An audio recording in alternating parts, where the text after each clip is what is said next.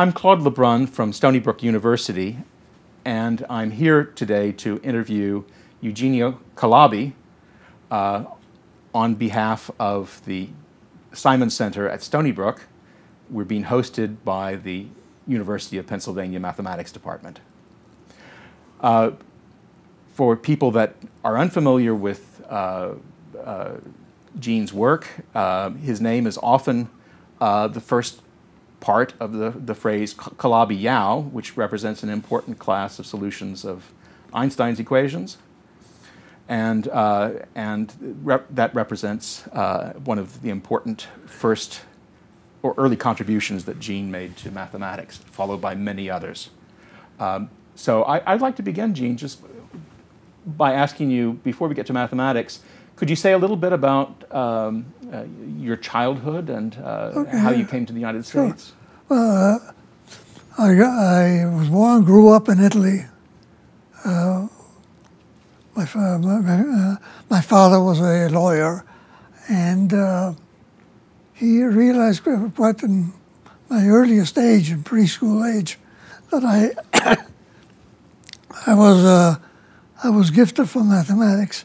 So when I remember that in, I was in first or second grade uh, trying to memorize the table of multiplication, and he, uh, he explained to me what a prime number was. and uh, he told me, your job is to find the law, to, how, how prime numbers uh, succeed one another. and uh, Tall and order. It, and it was his standard question to me Have you found the law of prime numbers? anyway, uh, that's, that, that's the background. I also had a, uh, a teacher in middle school. Where did you grow up in Italy? In Milan. I went to public school there through, uh, well, what you might call 10th grade.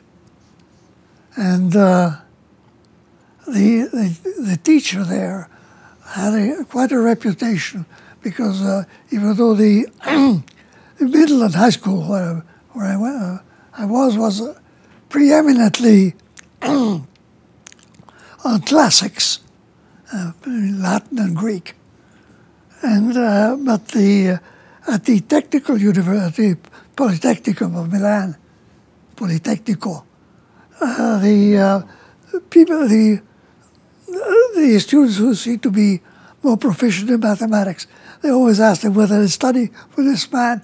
They're not going to the technical high school. so, and uh, he had quite a reputation, although he never wrote a textbook. But uh, anyway, and I left when I was about 15 with my family. I spent a year in France waiting well, for the American visa. This was what 38 to 39. So uh, just before World World so, uh, World War II broke out. So you had already been through the horror of uh, Mussolini's uh, racial laws and so forth. That's yes, it had just begun in 38. The laws.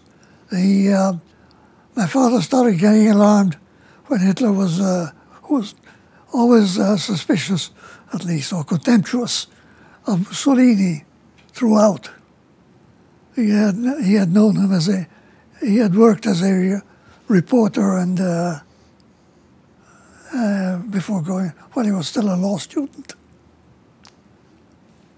Anyway, um, he started planning actually a, poss- a possible exit from Italy, from I would I would guess from 1936.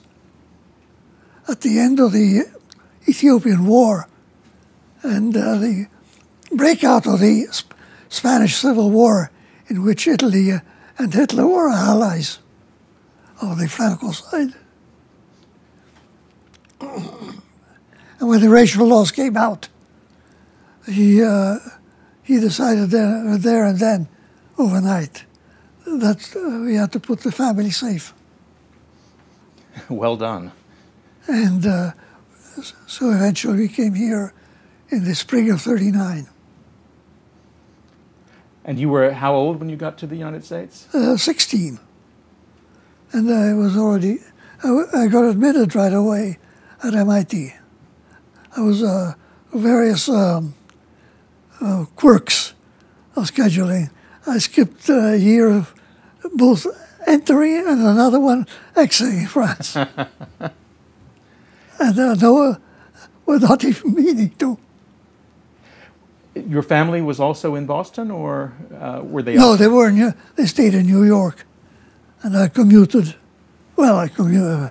Uh, uh, my home was New York, but I was uh, I was always staying in Boston, except on vacation time, and they they became scarce uh, in wartime. But then you went on to graduate school at Princeton. by the time I graduated, I had decided uh, that even though I had uh, majored in, in chemical engineering, uh, by the end of the war, my records showed much better results in mathematics.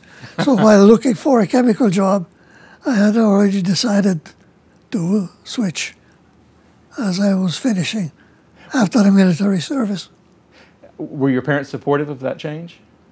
When, when you decided to go into mathematics rather than? Uh, I was. My parents were not. they, they had just returned in 46. They went back, back to Italy. um, as a lawyer, my father had, could not practice in this country and was anxious to get back to his own work.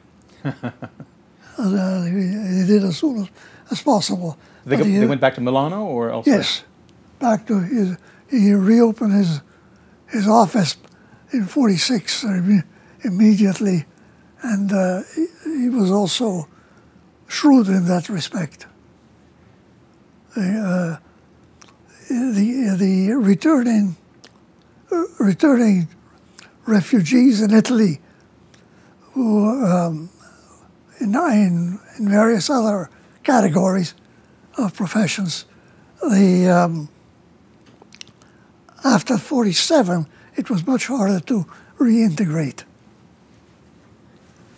And uh, my brother, since my father had started suffering from heart disease, my brother, who had degrees from both Italy and this country, had even opened a practice briefly in New York, decided to move back to Italy. My sisters, uh, two sisters, one uh, one was married and moved back to Italy with her husband, uh, Tullio Zevi. He was a he became a fairly well-known architectural historian, and uh, she uh, and uh, and another sister instead stayed in this country. But uh, that was my so, So, what year did you start at, uh, in graduate school at Princeton? Uh, well, I started not in Princeton. Oh, I said you were chemical engineering. I applied for both Harvard and Princeton in 47, early 47, beginning of 47. And uh, um, I was admitted to both, but uh, at MIT, at, uh, at, at uh, Princeton, they they offered uh, temporary housing for graduate students. So I went I went there. Important decisions are often made on the flimsy, flimsiest basis, right? It's, uh, oh yes. But you do have to have a place to live. But I, I did spend a, uh, two terms at the University of Illinois. Ah. That was my start, really, real start in pure mathematics. In 47, uh, for the uh, winter and spring terms. And that, that summer I moved into Princeton. So, uh, did you start working with Solomon Bochner immediately, or was that uh, about a year or two, the second year, 48. I, I, knew Bochner very slightly uh, when I was a, an undergraduate. Mm-hmm. Uh, I took a course from him. Yes. Um, he was known primarily for his work in Fourier analysis, but uh, he uh, but he had done, written some articles in, uh, uh, in differential geometry. And uh, I mean, Eisen, Eisenhart had retired and he was still around, but not teaching anymore. So Bochner was the person that knew something about differential geometry. Yes. In particular, worked on Ricci curvature. He had That's proved an right. important theorem about harmonic forms. He That's seemed to be very skeptical in that article about uh, about uh, the Hodge-de-Rham theorem. so he doesn't actually he talks about harmonic forms, but he doesn't talk about how they're related to topology at all. No, no, no, that, that, that I learned. I learned only later. but I, I was uh, strictly differential geometry, and the problem of the uh, the problem of selecting me- metrics. The uh, manifolds have many possible metrics, and uh, uh, whether there are any problems about the, the function space of all metrics. There was a, a nonlinear analysis was Oh, yeah. still at the uh, at the very in infancy at the time. Yes, absolutely. And uh, but it was the uh, the geometrical aspects that attracted me, and uh, Kähler manifolds seemed to be the the work the the area to work in, where there was a an inner structure that was uh, was really visible to me. I guess uh, Bochner also started working on on Kähler geometry uh, not very long after his paper on harmonic one forms. Oh yes, But he refers to the mo- Kähler metrics. He always refers to them as so-called Kähler metrics. Yes. He apparently knew that Kähler had been a Nazi and was very uh, unhappy with the man over this. Um, so, um, but uh, that's presumably. But you, you- you'll, if, if he says Kähler, it's always pre- preceded by so-called. well okay. No, uh, I hadn't noticed that. But the, uh, I had met Kähler when I was uh, just just finished uh, my, my doctorate, 1950. It was the uh, first international meeting of uh, mathematics at Harvard. The, the I attended. Uh, the the ICM. International Congress of, Mathematicians. Yes, and uh, I met Kähler there, and uh, sp- spoke with him briefly. I mean, uh, I'd done uh, my thesis was also already on Kähler metrics, the uh, the embedding problem, Oh yes, yes, yes. I see. the embedding problem, and uh, I mean, uh, the uh, uh, uh, I invented the word for the uh, in my thesis, the diastasis. I the uh, distance function. Right. They put the uh, normalized potential for Kähler metric that works in the analytic case only.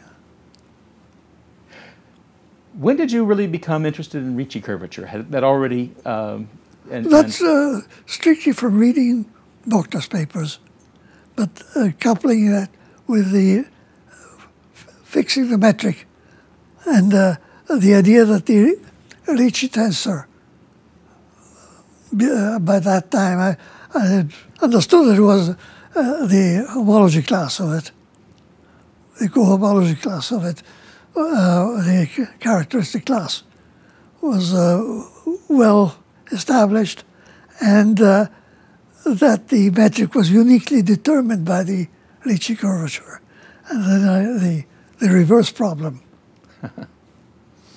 Was whether any form of that class compatible uh, corresponded to a and uh, uh, what was ob- obviously a unique metric. And uh, that probably motivated my, my first uh, studying of, uh, of uh, partial differential equations. By 1954, the next International Congress, you spoke in, at the Congress in Amsterdam, I believe? Yes, And that was when you first uh, uh, announced uh, your entire program about representing Kähler classes on compact Kähler manifolds by yes. But I, metrics of. I also wrote, wrote the first paper uh, on the, um, uh, the, gener- the so-called generaliza- generalization uh, of the uh, um, uh, the theorem on the on the Hessians, on real numbers, Oh, yeah, so, so, you, convex functions. so you, you started be inter- being interested in affine geometry and, and convex. affine geometry, uh, again by accident. I, uh, my first job at in, in Louisiana Louisiana the, uh, State University. uh, at LSU, yes. Um, the uh, Smith, uh, Smith Klein, uh, Smith Klein, the Smith uh, who was at, uh, had just died, and his uh, his widow had uh, put his library for sale, and I bought the uh, the book on uh, affine differential geometry This by Blaschke. by Blaschke.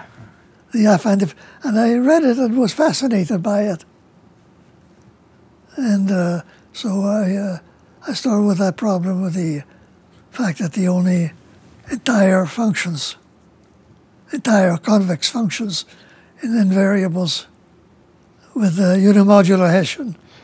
So this work on real the, the real Monge-Ampere equation was that Yes. before or after you started thinking about complex Monge-Ampere and and uh, Ricci flat Kähler metrics? Simultaneous. Simultaneous. It was a step toward it.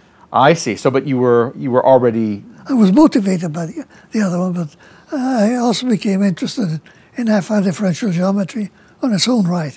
And in fact, uh, my current interest, as, uh, as it is, at least pretends to be, or to, pretend to follow, my age I can't do much anymore, uh, is still in affine geometry.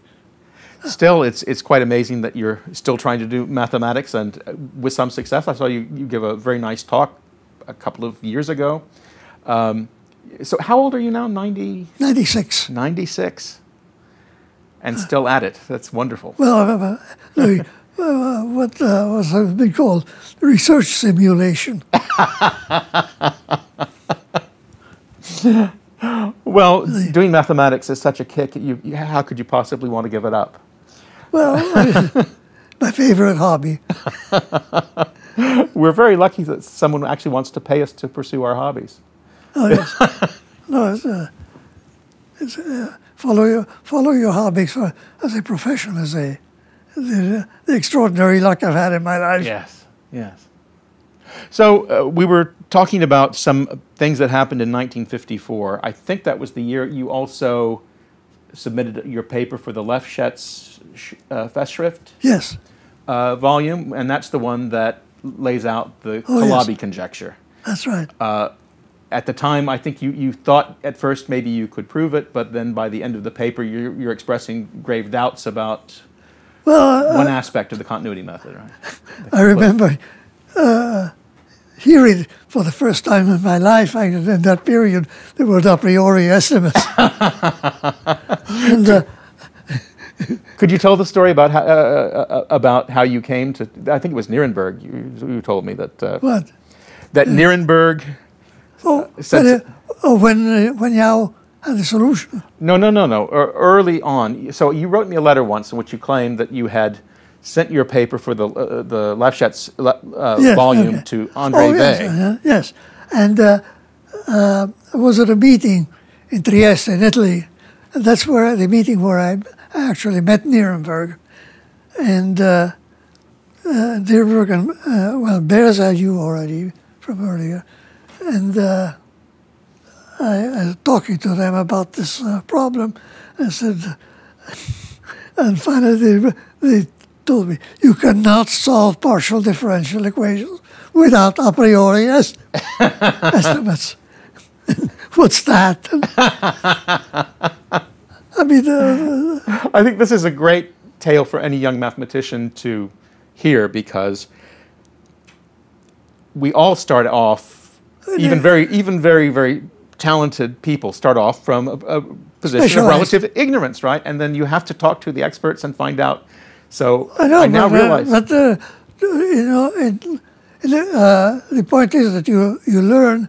You not learn during the course. You learn after when you're mulling over a course. That's been at least my experience. Yes. I'm I've been a slow learner anyway. in that respect. well, s- slow and steady wins the race. So it's it, it I, I- think that uh, I mean your your paper on the Calabi conjecture that is uh, an amazing paper. It's very very impressive, and uh, but uh, apparently you, you you sent this to Andre Weil, right? You must have been thinking that he was the expert on K three surfaces, or Well, uh, no, that uh, uh, I asked him whether it was of, of any interest, and because I, I, I knew, very little about algebraic geometry at the time. And I, I asked him, he said, uh, uh, he answered me very quickly, but uh, how, do you, how do you prove it? And then, and, and then he, he's, he, was a, he was a very brilliant man, but not known for generosity. And uh, so there, there are various people who uh, had stories to tell about Andre Weil having kind of. He was a very smart guy, and he'd like to show that he was the smartest guy in the room. oh yes, I know. He, I, I, I was intimidated by him, actually. Uh, I spent a year at the Institute in uh, 50, uh, 53, 54, I think. Oh, so it was right around. So he was actually uh, uh, in the United States during that time, and Oh uh, yes, I wa- he came in, uh, during World War II or shortly after. So he spent some time at Chicago, I know, but that, Uh, Yes. but, but uh, he also was there. part of, part of his career was at the institute. Uh, That's right. He was uh, uh, he- he was in Chicago before coming to the institute.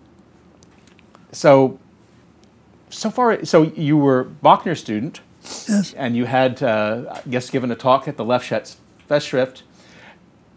This makes me wonder. I've heard all of these stories about how the two men, Bochner basically would not talk to Lefschetz. Was the story I no, heard. that's right. Do you know what that was all about? I heard I heard various rumors, I think, but it, it happened long before I came to Princeton, and uh, must have happened just uh, shortly after Mochta came there, or I, I forgot which which one of the two came first, but the um, uh, it must have been a uh, something about salaries, so something very very provincial. But I've, I've been told that, in particular, uh, Bochner did not want to be in the same room as Lefschetz. That's right. And uh, even when we had invited speakers, uh, one thing that Lefschetz uh, liked to do is to get the students acquainted with the speakers, so encouraged them to have the reception for the speakers at the gra- uh, wherever they were renting, uh, either at the graduate college or in their room or the suites in town. The um, and uh, the the usual routine is Lefschetz would come very early, and then and and leave early, and then we call Bochner. He said, uh, oh, but it's uh, the, the usual conversation, uh, typical. Uh, uh, but it's getting very late, isn't it? Uh, no, it's fine. Everybody's here. But uh, uh, has anybody? But the people must be leaving. Oh yes, but very few. Uh, for example, I name one or two le- left. Okay, I'll be right over. It's a, it's a mystery that, uh, you know, they were both very major mathematicians. oh Uh, yes, no, they, they respected each other. I, I mean, uh, uh, I, I heard at least uh, I heard Bochner quoting Lefschetz. Uh, the other way around, I did, I did not follow Lefschetz too closely, but I think uh, it happened. There's So- certainly many results uh, proved by later mathematicians that use ideas from Lefschetz combined with ideas from Bochner. Oh yes, It's uh, what a strange thing. So when you first finished your degree, you went to Louisiana State University. And Yes. you were there for a short period of time, or three years for 50, well, uh, 52. I, sta I stayed as a postdoc in Princeton for half a year or so. Uh, and then 50, 51, I went, I mean, a year after the doctorate, I went to, uh, I got to Louisiana. did you have anyone to, to talk with there? I went with another student, uh, with Newton Hawley. And uh, we thought of uh, helping build up a department. But the, uh, uh, we, we, we actually did get a few uh, fairly well, people who became fairly well known in their fields, like, uh, well, uh, anyway. uh, but uh, I got, uh, married there. Where did you meet? We met in New York um, she was, uh, her family was living in Cuba, and she was visiting an uncle who lived in New York. Ah. After a year uh, on leave in Princeton, and uh, was there for two years. Then I got an offer, a visiting professorship at, at Caltech. Ah. Well, that was, uh, I think, a direct consequence of the papers you mentioned, the abstracts you, you, mentioned on the conjectures. I was there, and there I met with uh, Fell. And uh, did, did you actually go to Caltech? Yes, for one year. For one year. And then you, after that, you went where? Uh, after, at the end of that year, I decided not to go back to, to uh, Louisiana. I applied for the Institute, and uh, the um, uh, I think it was uh, uh, you know Eisenhart or somebody maybe Andre, Andre suggested, no, Morse. Morse oh, Morse and Morse. He suggested I apply to the Institute. And uh, I applied, but then I got an offer from, when I was at Caltech, I got an offer from uh, the University of Minnesota. And I was waiting for the, I told them I had to wait uh, because I was I had the application for the Institute and I was hoping to spend a year or two there. But the, uh, uh, uh, the there was no answer for a while. And uh, then there was uh, the end of the year. There was a conference, a math conference at, uh, at Berkeley that I was planning to attend. As I went there, I told the people at, at Caltech that if they got letters from the Institute, forwarded to me immediately. I waited there, and, uh, and uh, while I was in Berkeley, both Milgram and Rosenbloom were there in Berkeley at that conference, and they were urging me to answer their on their offer. and uh, there was no answer. And uh, so I said, finally, I, I'll go. I, I, I and you just withdrew your your application from the for the I, I, went, I, went to the uh, I accepted there, and uh, when I finally got there to Minneapolis, uh, I got the forwarded mail back from from Caltech. There was the offer from the institute. the secretaries there had ignored it. But on the other hand, uh, this was a tenure track job that you'd moved to, right, in yes. Minnesota. So that, that actually yes. has a lot of so advantages. I, I, went to the institute two years later. Uh, yeah. But you were already married by that time. oh, I was. I was married while I was in Louisiana. And my wife lived there with, for two two second year, two final years there.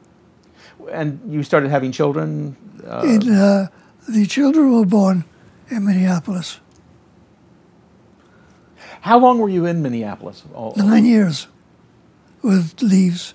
At, uh, two leaves. I was uh, uh, I was once in uh, at the one for the institute, and then once at the IHES in Bures. oh, that, I didn't realize that was up and running then. They, that was, would have been a very new institute then, right? And, uh, oh yes, and uh, and then I also one semester in Chicago right after Chern had left, I was sort of a substitute for him for one semester. So, uh, for the benefit of our, our, our listeners, uh, it might be good to uh, now review just a, a, little bit about the, the statement of the what's now called the Calabi-Yau theorem, that if you have a compact uh, Kähler manifold, then if you specify a, a, any volume form, provided it has the, the, the right integral, um, that you can represent in a given Kähler class. Mm-hmm. You can find a, a, a, unique metric with that volume form. And then this has a consequence that if the first Chern class of the Kähler manifold is zero, you can prove that there is a unique Ricci flat Kähler yes. metric in each Kähler class. Mm-hmm.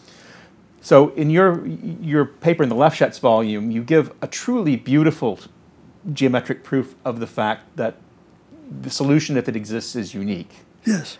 And um, this is is is one of th- th- this is a just beautiful argument, uh, basically a maximum principle Well, argument. the, uh, sure, the, it's the uh, the Bochner principle. It's, um, but I, I definitely think that your, your paper is still worth reading because the, the uniqueness is so beautifully e- explained there.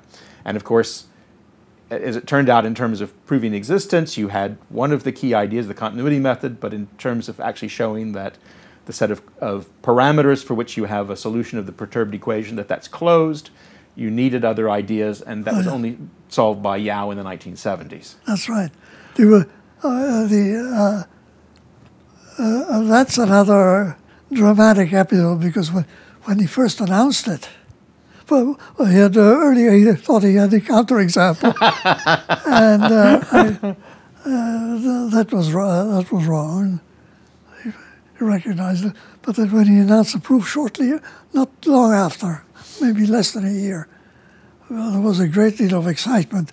We had to hear the details and uh, we had uh, arranged a meeting as soon as we could, a place where we could, and the meeting took place on Christmas Day in, in Nirenberg's office in New York. and uh, uh, well, of course, Yau and Nirenberg and Bers and, uh, and uh, I just uh, myself. We, we were met there in his office, heard the first proof there, which I did not understand. But uh, understand, I, uh, I don't think I can reproduce now the full details. So, uh, d- did he concentrate? There's a C0 estimate, which is, is done by iterating in LP spaces. Yes, Uh, but in, there's also sort of a key C3 estimate that's based on your earlier work in affine geometry, right? Oh, This- yes, Did, did he discuss that in the same yes, he, lecture? he quotes it. So, so you, you, you, you told me once that that was the first paper where you proved yeah, something my- with a priori well, estimates, right? uh, it was a celebration, my first, under, first uh, understanding of, of analysis. So, um, with respect to uh, your work on extremal Kähler metrics, uh, well, actually, one, one, one odd uh, historical thing that some people, even in the field, may not know there have been a lot of papers on Kähler Einstein metrics with non zero scalar curvature, and they have often put in the title this is a proof of Calabi's conjecture. Yes, Uh, whereas you didn't actually explicitly say that, although it, it follows from your assertions about constant scalar curvature. Oh yes. Uh, Well, I, I realized only later that uh, the, that constant scalar curvature is obstructed in some manifolds. When did you first realize that? Uh, when the paper by Futaki appeared. Oh, I see. So, uh, so Futaki. yes.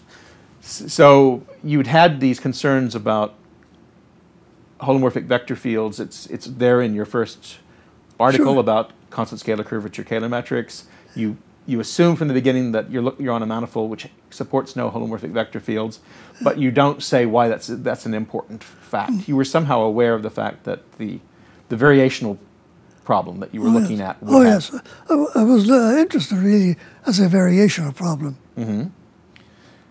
Uh, and then the uh, the the first exa- uh, the first examples of extremas that uh, of extremal metrics in which the curvature is not constant. I even wrote a short paper announcing it. It's a very it, it's it's a fairly long paper that's in in uh, Yau's conference volume. He was seminar on differential geometry, and it's a very beautiful uh, article where you discuss the more the general variational problem, show what the Euler Euler Lagrange equations are, and then produce solutions on blow-ups of, for example, CP2 blown up at a point supports Oh, yes. solutions in every Kähler class which have non-constant scalar curvature.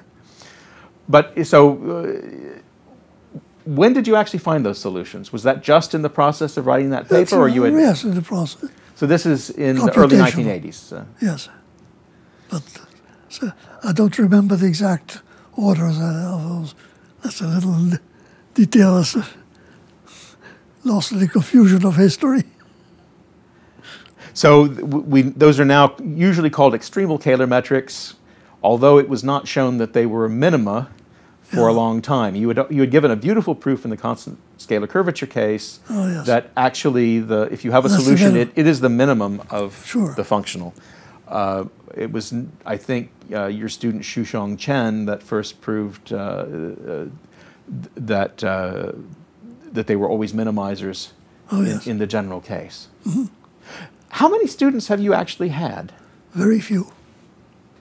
Uh, I had a lousy reputation as a lecturer. I think uh, uh, that, that's not what I've heard. What I've heard is that people were intimidated, but, but because there was so much stuff in your lectures, that uh, that some of them felt that they That's wouldn't. A complimentary way of putting it. That's uh, uh, I heard uh, is, uh, what I heard is uh, somebody called me Killer Calabi. but you didn't just work in Kähler geometry. You had other areas of differential geometry. Well, the yeah, well the uh, affine geometry is one, but most of it is is again, again inspired by uh, Bochner's work. So the ideas of uh, elliptic differential equations. But uh, then, of course, my colleague at uh, Xiuxiong Chen at Stony Brook is, is uh, perhaps your, your most celebrated student. Well, yes, he's my best known. and I should, I should explain to yes. the, the, our listeners that the, that the proximate cause for holding this uh, interview is to celebrate the fact that Xiuxiong uh, recently shared the Veblen Prize with Simon Donaldson and with Xiuxiong's student, your grand student, oh, yes. uh, Song Sun. Oh, yes. But who was at Stony Brook also, well, but is now another, at Berkeley. Another student I had, but only formally, the, uh, who's not in my field at all, uh, um, Mil, uh, Milgram. The, oh, really? The younger Milgram. He, he had uh, when his father died, when Arthur Milgram died, uh, he he moved from Berkeley. Mm-hmm. He had already essentially written his thesis. I'm I'm just thinking, you know, back. Uh, you you really made uh, great strides in Kähler geometry as a branch of Riemannian geometry yes. in the in the 50s and 60s and 70s and 80s. Uh, but back in the 1950s, how well did people really even understand what a Kähler metric was? Well, I understood it from, uh, from the Bochner lectures. He, we asked him to give a course in differential geometry for the first time in my second year, graduate 48, 49, I guess. And uh, he defined it there, but uh, I understood it probably only uh, about a year, a year after. In, in particular, I mean, it it it, uh, it, it turns out that Kähler geometry is an example of uh, Riemannian geometry of special holonomy, oh, and and that fact seems to have just been ignored by uh, many people on, on, the kind of algebraic ge- geometric end of things. Well, uh, yes, it was a it was, uh, it was, really a remarkable discovery that uh, it took years to focus from, the, from his first announcement by Kähler. My colleagues Xiuxiong Chen and Simon Donaldson were kind enough to provide some questions uh, that I should ask in addition to the ones that pop in, popped into my own mind. Um, one interesting uh, question that, uh, that, that, Simon raises is that um, in some of your early papers, you were interested in non-Kähler complex manifolds. In particular, with Eckmann, oh. you found uh, a beautiful set of uh, examples oh, of uh, complex oh, structures on products of spheres, which uh, you know are, are, on manifolds that certainly can't admit Kähler oh, metrics because their second cohomology is trivial. That's right. Um, have you uh, followed the, the, these areas of non-Kähler complex geometry at all? Had you uh, no, just uh, the loose questions in my mind. Any any more examples or uh, other than the usual? But uh, uh, I mean, after after Milnor's discoveries, whether you can have also twisted spheres. Well, uh, questions about complex structures on the, the, the sixth sphere are, are uh, it's one of those annoying things that just won't go away. Uh, Oh, yes. It's unfortunately uh, one of those problems. Well, your father asked you about questions about prime numbers when you were small that Yes. are basically are uh, still quite out of range of, of, of uh, any technology we, we have and m- may always be. And so the, the, the complex structures on the sixth sphere, this, uh, uh, Yes, I've, I've been bothered by that one. the, the obstruction to complex structures is, uh, is uh, basically unknown. Uh, once you have an almost complex structure, what uh, obstruction to integrability? Another uh, uh, very interesting general question that Simon Donaldson uh, proposed was uh, when did you start really seeing uh, analysis starting to have a, a major impact in differential geometry? Um, from the correspondence I had uh, with uh, with Andre Weil, That's when you realized that it was, it was Oh, an yes. essential thing, right? it was a the the, the pro- it was a problem that was fundamentally analysis. But uh, I think the mathematician very often what to do even at a later age was originally in the mind much earlier. And, Maybe uh, with 2020 hindsight, though, sometimes you know your ideas are so confused when you're young. well, I know, certainly confused when, we, when uh, learning things. Learning is a confusing process, and then uh, the the real learning takes place after you've uh, sort of digested. it's a digest. Learning is a digestive process, not a creative one. So, uh, in your own case, uh, we mentioned before this article on extremal Kähler metrics that uh, that came out in the 1980s. Um, in a way, you're writing about things that you had started to think about Oh, yes. years before, but actually being forced to sit down and write out the details, you've discovered new things, That's right. and that, that, that it's. Uh, Well, that's the digestive aspect. I always think it's, a, it, it- it's very problematic when uh, this is no longer such a, a problem now with the so many of our uh, publications are basically electronic. You know, you write a, a preprint, it goes on the archive. It, nobody's counting the pages. You know, how much paper did you waste? Well, it doesn't matter because there's no paper involved.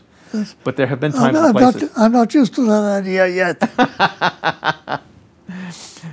that must seem that must, that change must have seemed very strange to mathematicians yes. of your generation. Oh. So someone always typed your papers for you, right?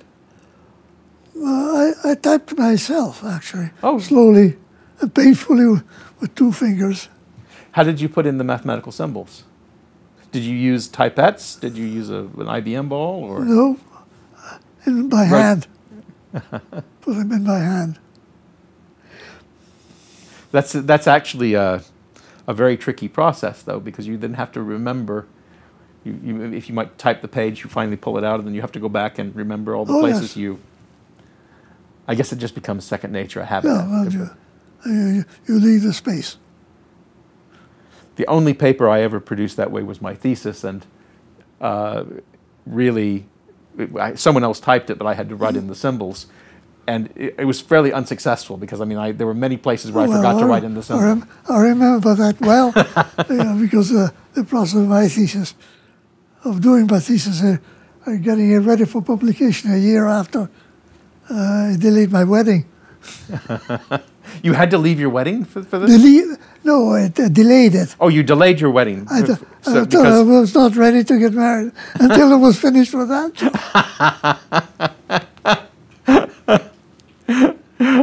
Writing has always been painful. this is, uh, even in composition writing in high school. The uh, usually the, um, the the math hour came to me with a sigh of relief. and yet you've, uh, uh, you know, of course, you had to, to, to, learn English as a foreign language. Did you arrive no, in? No, I don't remember learning English. I had a. Uh, uh, my parents started language training, and I was the youngest, so the first uh, English English nanny came when I was two years old. So I cannot remember. Oh, really? So you already knew English before you came to this country, and that's right. Ah, so that's uh, with an English accent, of course. but that's a huge advantage. Uh, oh yes. Not only in terms of uh, you know, having the good fortune to get out of Europe at a very bad time, it may have uh, it may have helped the, the family get a visa because everyone already spoke English. Well, uh, we could also speak more or less. I mean, the uh, my parents spoke with a heavily accented English, but my father was well read in several languages. He used to read a lot. My mother, she she was uh, her education was sort of high school level. But you also learned other foreign languages. I know that you oh, speak yes. German, for example. Uh, yes. Uh, French, perhaps? French, French I had in school and then by living in France. German, uh, I had a, an English, still had an English nanny, and on a trip to uh, uh, to Switzerland, I think, I heard her speaking German to the. She was fairly good in German, uh, speaking to one in a shop or something, and I told her, well, why, don't you start, start teaching me some German? I was just curious, but it's a it's a. Uh, it's a common phenomenon in somebody who is, uh, I mean, uh, sort of intellectually active uh, to want to learn a language. It's, it's one, uh, a funny thing uh, in retrospect. the impression I must have made when I first came here, speaking with the people I was just meeting for the first time, just for the first time speaking English uh, in conversation, casual conversation, rather than technical learning. Uh, meet somebody, uh, start asking where, where do you where did you grow up? What language do you speak? And people give me a strange look when when I ask them that question. Why English, of course. English in mathematics now, it's become less important to have a command of foreign languages. No, but when you were when you were growing up, uh, many of the papers were written in German or French. That's right. And I suppose that knowledge of these languages must have been very important for you. Yeah, but I mean uh, that will occur later.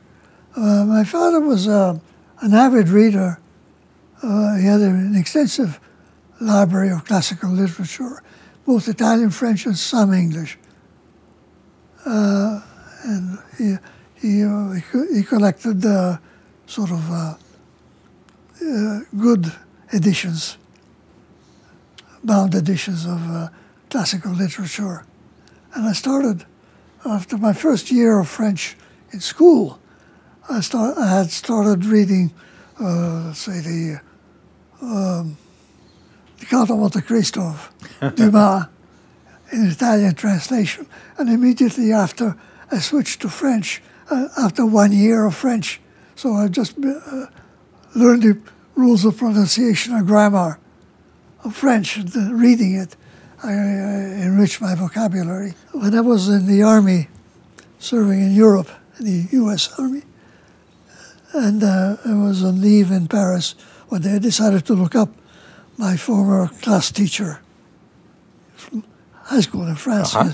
He was uh, living in Paris uh, I went to see him in his office and uh, spoke to him and said, "Oh yes, he, rem- he remembered me. I was a good, fairly good student, and he had written actually in his report that I made b- big progress in French." But then he, at the end of the visit, he said, "It's strange." When I first knew you, you spoke French with, with an Italian accent. Now you speak it with, a, with an American accent. Well, you presumably had uh, were there on a fairly brief visit, and if you'd been given a little bit of time, your your French would have probably just come snapped back into focus. Oh no, it was, it was fluent. I was working as I was working as an interpreter anyway. so you actually had to do military service at some point. You said, right? Uh, I, uh, two year, two and a half years, uh, World War II, from forty three to fo- beginning of forty six. D- did they give you uh, a job that in, that used your skills in any way? Translator, interpreter. Ah, Uh, I worked with, both with uh, Italian prisoners and French uh, civilian employees in various depots in France. And very a few days in Germany only. so in the course of, of your career, you've seen you know this, these enormous changes in the way that uh, mathematics is communicated. Oh yes, I know that. Yeah, and I, I'm And just I'm suffering from it. I don't adapt easily. Well, so it, you know, looking back, it, it, it seems like the number of mathematicians, uh, particularly mathematicians that did something that would be relevant to your own area, would have been relatively small. In fact, where you would have probably known almost everybody. Uh, I used to know. Uh, that- Uh, So, I mean, um, it, mathematics was usually disseminated by, you know, they were mail. mail, mail people- and telephone. And in particular, any anything that was in the direction of a collaboration or depended Oh, upon yes. uh, must, mu had to be done in, in in those ways. Yeah. But also, you had to know uh, you already you could only exchange ideas with people if you already knew them, right? You, Oh, sure, but you mean, uh, you, that's why we went to meetings. Meetings are, are useful. I think they still are. You have to go to shake hands and, and see what they look like. So you know, your some of your early work was uh, on complex manifolds, and you were asking questions that were alien to to uh, algebraic geometers because you were asking about like. That's right. Uh, were there ever any meetings where people you, you would meet people that were interested in these topics, or for, for what? say uh, let's say for uh, non-algebraic complex ma- non-complex uh, complex Uh, manifolds? Very few. The only one I knew was Bochner and his, uh, uh, his other students. How did so uh, when you collaborated with Ekman? How did you meet Ekman? Hopf was visiting Princeton. And uh, This is Heinz Hopf. Heinz Hopf uh, was visiting Princeton. And uh, I told him about this, the, the, the construction. And, uh, and Bochner bought me out for doing so. But, uh, uh, but Hopf told me that Eckmann had done the same thing just then. So we, uh, we decided he put us in touch. I never, I never met. I met him later, or shortly later. Uh, we decided to write it jointly by correspondence. When you look back, at what point uh, did was there a, a certain period of time when you really thought uh, uh, that what you were doing was uh, particularly fun and, and and exciting? That you felt like this was the moment when you when what was No, no, it was just uh, finding my way, essentially. The uh, the, the first episode of of uh, of getting something into print, as, aside from the the Putnam exams, the the, um, the the paper that I wrote uh, uh, was from the problem posed by by uh, Er- Erdős. Uh, s- uh, sums of yes yes. uh, sums of complex of complex numbers or something. I'm just wondering, though. Uh, you know, you now you at, you're at a, a point in your career when your name people probably don't realize Calabi is a person. Calabi Yau is. Uh, is, is a phenomenon that you were telling me earlier that you there was a, a, a dance performance called Calabi Yau in New York and Oh, yes. so it's kind of entered in popular culture. Do you ever have the experience that uh, uh, people want to come up and ask you about physics or something like that, and No, or string theory? well, I heard, I heard about them, but no. My, uh, my favorite uh, sort of slogan to explain mathematics to the lay, to the layman is uh, uh, it's uh, quintessentially science fiction. Uh, I never quite understood the the implications, but it was a it was a piece of luck, Uh, unexpected. Well, but on the other hand, sometimes when you just do what comes naturally in mathematics, it pays off, right? It's Yeah. That's my that's my luck. well, Gene, it's been uh, wonderful interviewing you. I'm so glad that we could do this. Okay. Well, And uh, I, I think that uh, uh, as it, as I mentioned earlier, it's an ego trip for me. well, it's a it's a well-deserved one. So All right. Thanks. I think that uh, many people will find this interview interesting, and uh, I'm glad we were able to do it. All right. Thanks a lot. Well, thanks.